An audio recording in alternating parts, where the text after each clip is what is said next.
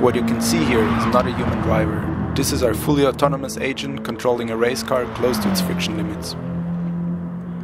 In this work, we propose a reinforcement learning based approach for controlling race cars in Gran Turismo Sport.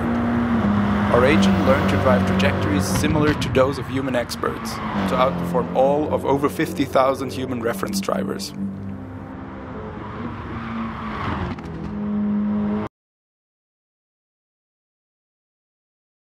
We train neural network policy with a reinforcement learning algorithm called Soft Actor Critic. Our approach learns to map observation from the Gran Turismo simulation to direct control commands, such as the steering angle and the applied level of throttle and brake. To evaluate our approach, we separately train agents for two car models and two different track layouts. To validate the performance of our approach, we invited a human domain expert we will refer to as TG to participate in our experiment. Here you can see a direct comparison between our approach on the left and TG driving on the right side.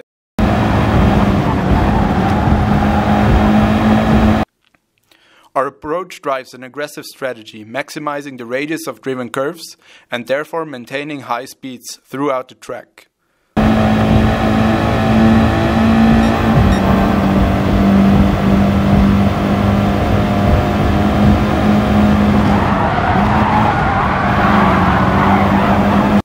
Our approach manages to outperform the human expert in all segments of the track.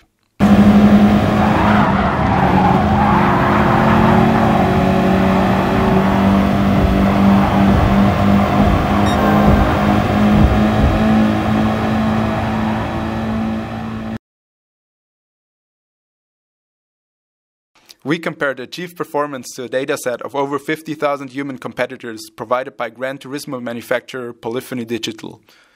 We achieve superhuman performance on all tested tracks and cars. You can here see a comparison for the track and car seen in the previous footage. When asked about the performance of our approach, TG said the following. Nice. The AI drives very aggressively, but I think this is only possible through its precise actions. I could technically also drive the same trajectory, but in 999 out of 1000 cases, me trying that trajectory results in a crash, which destroys my whole lap, and I would have to start a new lap from scratch. As you can see in this footage, our agent was also able to learn difficult driving maneuvers, including driving a hairpin curve on our second reference track.